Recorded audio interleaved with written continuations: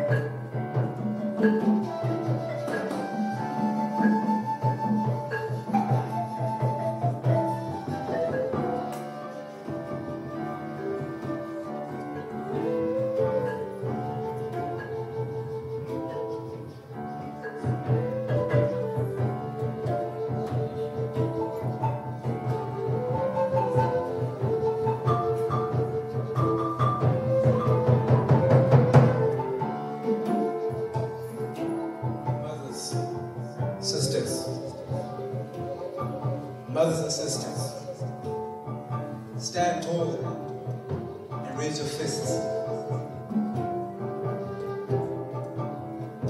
Let's celebrate this Women's Day.